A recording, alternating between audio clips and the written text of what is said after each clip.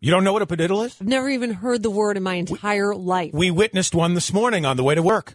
A car that has one headlight out. Get out of here. That's a padiddle. That's What- not a real thing. Yeah, it is. Is that like a kid word? Is that something no, you made up when you were no, a kid? No, I, mean, I know you had no. This is a word that everyone, all adults, have heard before. I don't think so. I don't, Don't think. pretend. uh, come You- on, you- 47 years old. I've never heard the word padiddle ever in my life. 7210987. Lite 987. Hi, what's your first name? Tony. Tony. Hi, Tony. How you doing? Hi, doing good. What- What's up? Okay, listen, padiddle is a real word. No, it's It is. not. Listen, Come on. Listen, here's the thing with it, okay?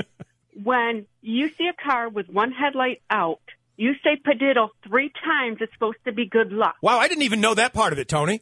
Yes. Okay. Is it like a But it is- punch it is buggy, but not the, quite the same? What? Is it like punch buggy? You know, when you see like a, a Volkswagen bug, you say punch buggy and you punch somebody. Do I get To- to, do I get to different. punch Dave in this? I guess that's my takeaway question. No, you can't punch him for padiddle. Thank No. you, Tony. Thank you. Can. I? Jesus, no. All right.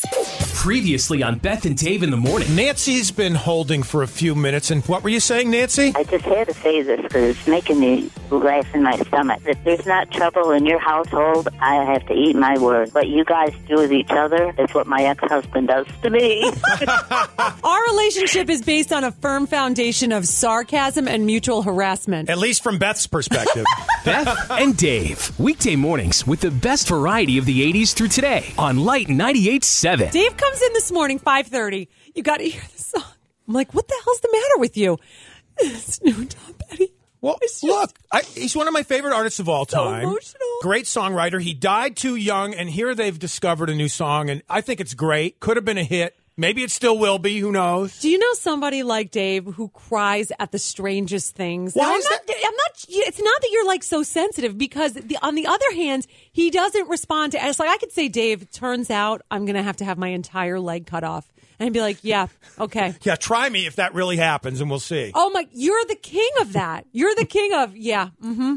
Hon, I got to talk to you about something that's been going on, really weighing on my mind. Blah blah blah blah blah. Yeah.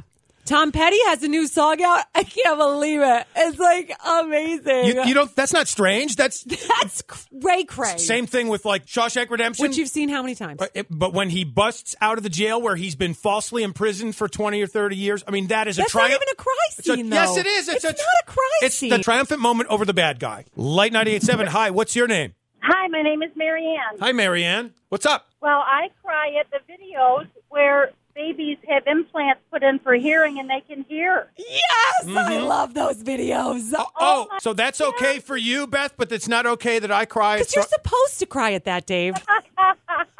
oh my God, funny guy. It's time for Your Mom Must Be So Proud Morons. Dummy. Idiot. I'm not a smart man. with Beth and Dave in the morning on Lite 98.7. and extreme moronic behavior in California. 25 year old Robert Quigley rear ended an SUV over the weekend that was stopped in traffic.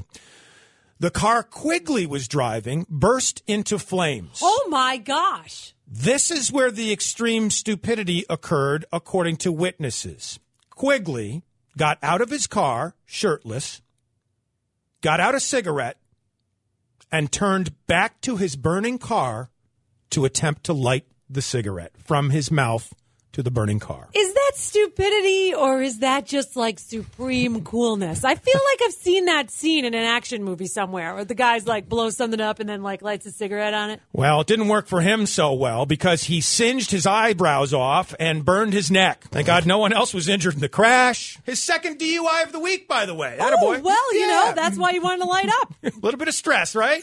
Beth and Dave in the morning I'm ashamed God made me a man. I don't think God's doing a lot of bragging about it either. On Lite 98.7. Now there's a new company, and they're going to help you preserve your loved one's tattoos. They cut the skin off the dead body, and then they preserve it, and then they frame it so you can hang it on your wall. There might be some people listening right now who have done it already. Beth, who knows? Maybe that's the next trend. Maybe Yeah. I can just preserve like that nice freckle on your cheek. I'll have it leathered up and I'll frame it, and there you go, your favorite mole. You put it on a ring. Beth and Dave. That's the most disgusting. Ugh. Weekday mornings with the best variety of the 80s through today on Lite 98.7.